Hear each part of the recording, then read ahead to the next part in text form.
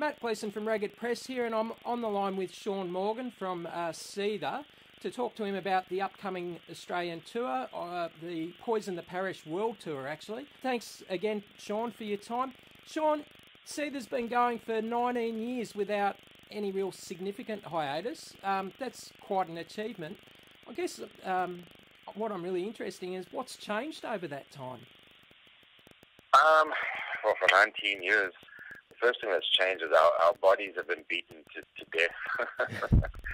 um, I don't know. I think I think we, we you know we're all older, we're all wiser. We we all appreciate what we have now a lot more than we used to have it when, when we were kids. You know what I mean? I think when we were 20, 21 years old, you sort of go out and you don't, you, you don't, you never expect much. You don't expect it to last forever. In fact, you don't expect it to last very long at all. Yep. Um, you never expect to still be around 19, 20 years later and still be playing music and still be touring and, and still have a, like a, a, a sizable following. Um, so for us, I mean, I think for the most part, we're just grateful that, that we, we keep obvious well we, we, that we keep writing music that people want to listen to and we keep playing shows that people want to see.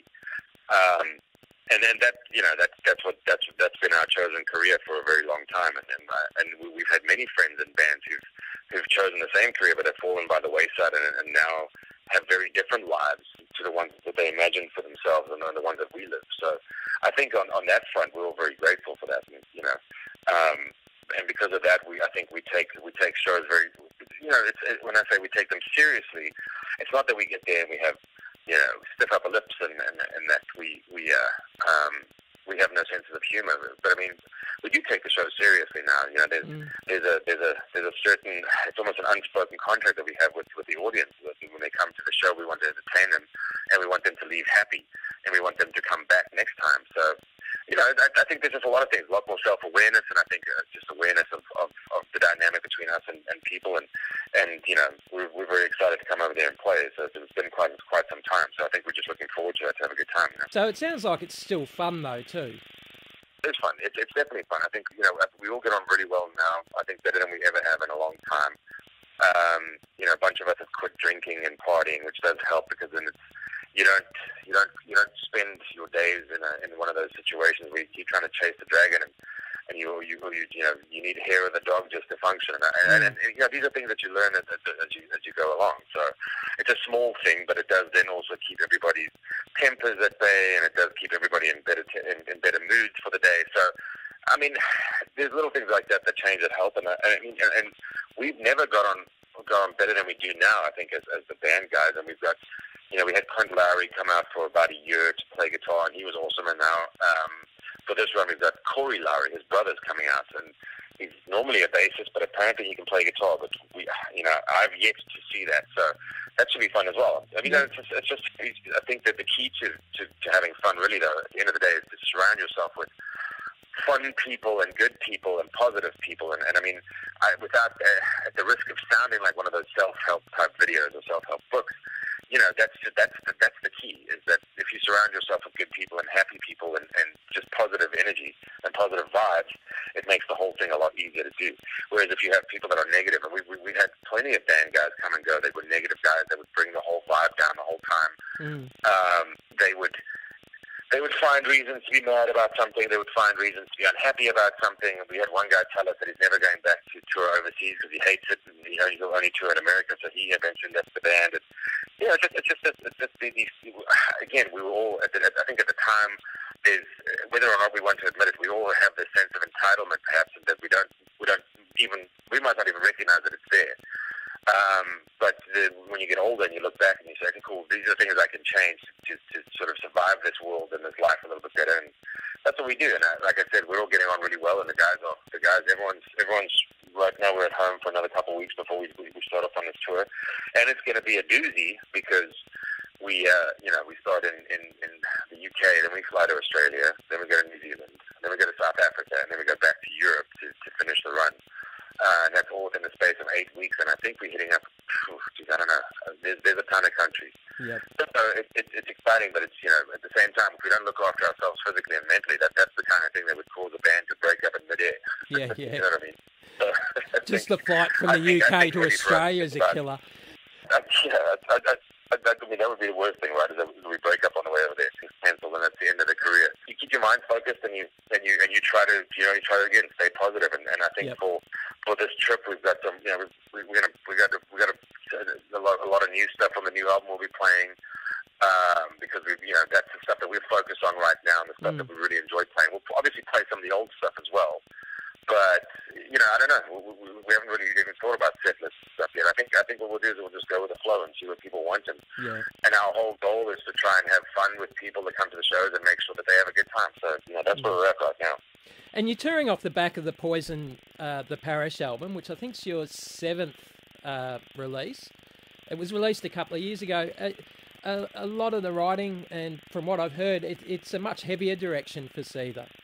Yeah, um, I- it wasn't intentional to begin with, but as, as time went by and as I was writing the demos, I, I ended up writing about um, probably 30 to 40 songs that were that, that could be considered for, for contention for the album, and then in amongst those, it just I just started gravitating towards the stuff that had more of the the heavy sort of simple sort of yeah, I don't know the, the riff oriented rock stuff, the stuff that and that Mm. made me feel good, and the stuff that, that I that I really love to play, and the stuff that I can imagine the band playing uh, without being bored of it, or not being bored, but you know what I mean, just just, just having fun with it every single time. Yep. And so I focused more on that stuff, and the more I focused on that stuff, that's the stuff that really started really grabbing my attention and held my attention, and, and, and I was getting really excited about that stuff. So then it started shifting towards that direction, and I mean I'm happy with it. You know, I think I think we've we've we've done the, we've done a couple albums where we dabbled in a slightly softer side, and, and perhaps maybe a, a more overthought um, musical direction where we where we sort of we try to be a little too clever and try maybe try to get ahead of ourselves a little bit here and there with music and uh, and I think I think that's great. It has a time and a place, but I don't think that's where, we, where we're at, where we, where we belong. I think this album is the best representation of us as a band, and certainly me as a songwriter, um, in, a, in, in in in our entire careers. And I think that Mm. that that's something. I, yeah, I'm really proud of it, and I think that it's good. Again, it, it's it's the album that if, if if this music, if our career was to end today, and somebody had never heard of our band, I would I would hope that that would be the album that, that people would reach for because for me, I think the songs the songs are the strongest that, that I've written. And you know, and I, honestly, this one I, I was so close to it, and I was I, I was so involved with every single part of the process, from writing to to uh, producing. Um, that uh, you know, an artwork and the whole deal. I mean, I, I it really was. This is this is this is very much my baby. So for me, I feel like this is the one I'm most proud of because I really micromanaged it, and I think that that the end result is something that I I hope um, people understand what I was trying to achieve, and, and certainly, and, and and quite honestly, you know, at the end of the day, music's supposed to be fun and make you feel something, and, and, and this this album does both for me. So that's kind of that's kind of why I went in that direction. Yeah. And obviously, when you're that close to something, um, and, and record companies like to have input too, was there any tensions there, or, or, or you know, how did that affect the process? Yeah, no, I think quite the opposite. I think the record company was quite gracious. They they they they asked for demos when the demos were done, and they got them when they were done, and they said, "Cool, it sounds like you guys are ready to make an album. Go ahead and do it." They Mm. they never really did that that sort of horribly invasive um, A and R maneuver where they come in and they tell you how to write songs, even though they they wear a suit and sit behind a desk all day. Yeah. you know what I mean? It's like they really they really are good people. They've been in the business a long time. I, I mean, I love all the guys at the new record company. The old record company was different. They were the people that would tell me I was.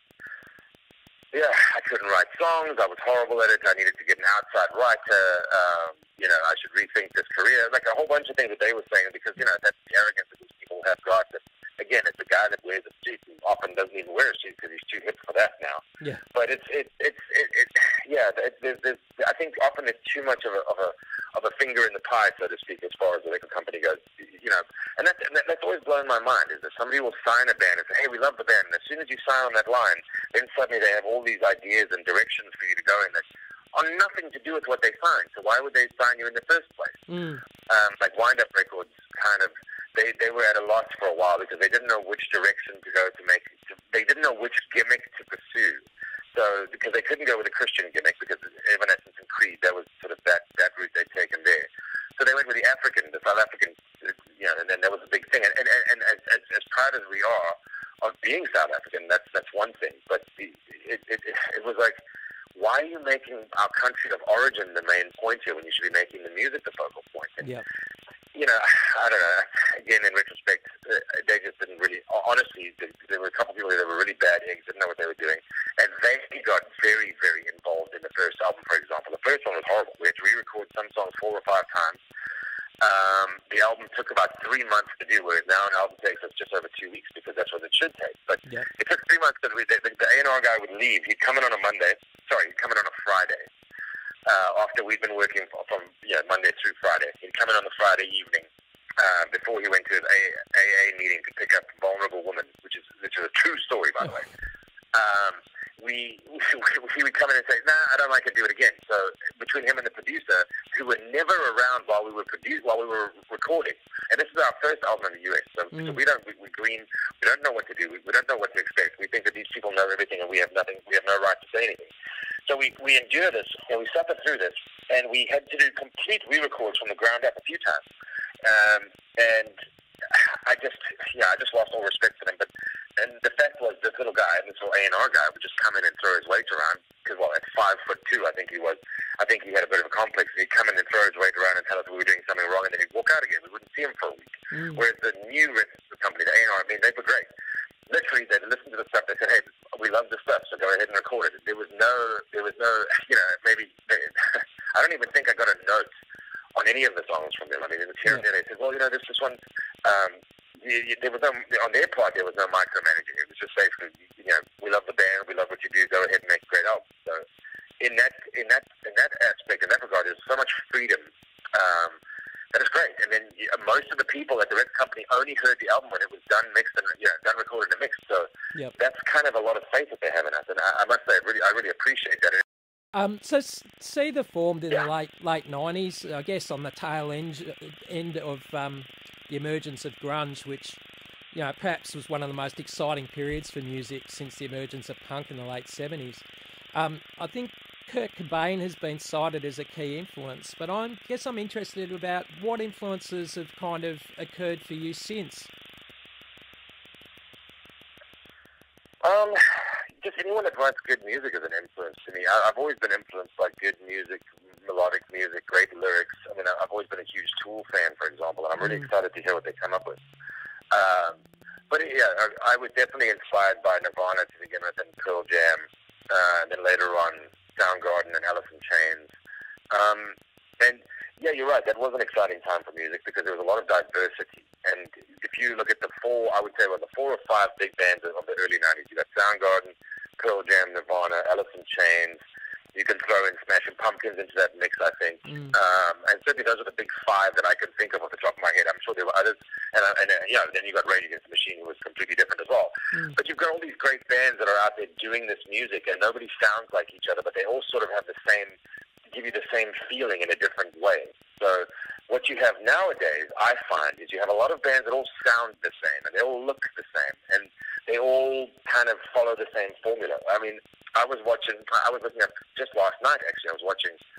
I was on YouTube looking up some music videos, and I'm I'm stunned by some of the bands that I consider to be absolute trash, and how many like how many hundreds of millions of views they have on mm. on YouTube, um, all because they have black eyeliner and and, and and and they've you know they've flat ironed their hair and they wear skimpy little health you know little little medium T-shirts, and or, or they wear the, the, the gothic ensemble, and they're all a bunch of posers, man. These guys, I know for a fact, don't play their instruments live because I've seen them play, and I've seen what goes on behind the scenes.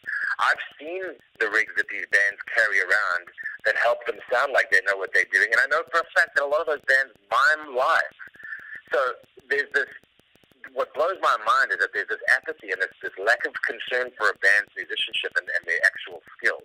Because what, what people don't understand is the ability to make a band sound like they can play is very easy if you've got Pro Tools and you cut you cut pieces up. And all a guy has to do is hit three or four notes, four, three or four notes in the right order, and then you can stop them and you can start them up again. And you know what I mean? You can you can mm-hmm. you can sort of con your way through it.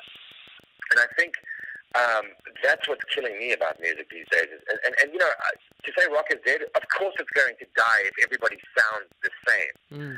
or if everybody, you know, there's a there's a blurishness to, to rock music now as well. There, there, that that sort of 80s excess came back in, in some aspects of it, which I which I despise. That that sort of you know, the big hair. You know, here's my thing, and I've, I've said it before, and I'll say it again, and I'll say it, and I will say it again in future.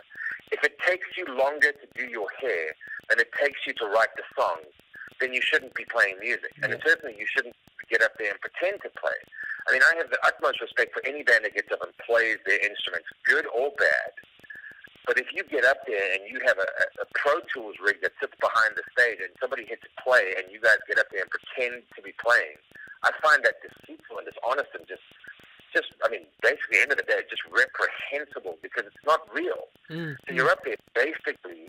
I mean, anyone can do that night after night. You can pretend that you're playing, and you and you can pretend that you're singing, and you can pretend that you know, there's a whole bunch of stuff you can pretend, and you can go out there and you and you and you can sell that that facade and that, that snake oil to the to the people. But I mean, I, I don't know. I think I think that that's possibly why we're in, in, in this sort of a doldrum right now. But I feel like there are bands that are that are that are going to come out. I mean, most recently I could think of say Highly Suspect and and uh, Royal Blood, bands like that kind of that, that kind of I don't know that kind of sound. It's sort of got a bit of a retro sound, bit of a loose sound. It's not quite as polished, but the songs are great. So I feel like those kinds of bands um, are necessary right now more than ever because I mean, if you put on some of the radio stations, certainly some of the rock stations that play all of the newest stuff, to me it just sounds either it's it's it's been watered down or dumbed down, or it's it just sounds like anything else I've heard before. I mean, Mm. there, there, there have been days when I'm driving in my car and I've got the radio on and satellite radio, and I'll hear I don't know four to five songs back to back, and I can't distinguish between them. You know what I mean? And, and I'm not being facetious. I'm, I'm, I'm, being honest. Where I, where I go, I have to look down to, to the display to see if the song changed because Yeah. that to me is just how how sort of atonal it's all become. Because these guys work with the same producers, and they work, and those producers work with the same drum triggers, so they all have the same drum sound. Then they use the same guitars to do the same to the same amps, to the same effects to, to, to make you because that's what producers do. They get lazy, you know, Yeah. and then so that's easy. They they have everything all set up so when a band walks in, they know what they want the band to sound like because it's their signature sound, supposedly, as, as the producers like to call it.